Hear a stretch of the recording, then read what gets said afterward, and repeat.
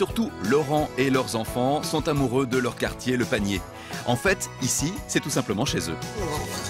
En pleine forme. C'est toi qui l'as faite Théo il se balade, il est connu partout. C'est pas tous les jours qu'on voit ça. Et pourtant, il va falloir déménager puisqu'à 4 dans 62 mètres carrés, ce n'est plus possible. Si on pouvait avoir quelques mètres en plus, euh, j'avoue que ce serait bien agréable. C'est notre agent, Céline Hubert, qui va relever le challenge. Bonjour. Enchanté. Enchantée, Céline. Nous débuterons avec des visites bras de fer, Une vue dégagée. On est dégagé sur le bâtiment d'en face.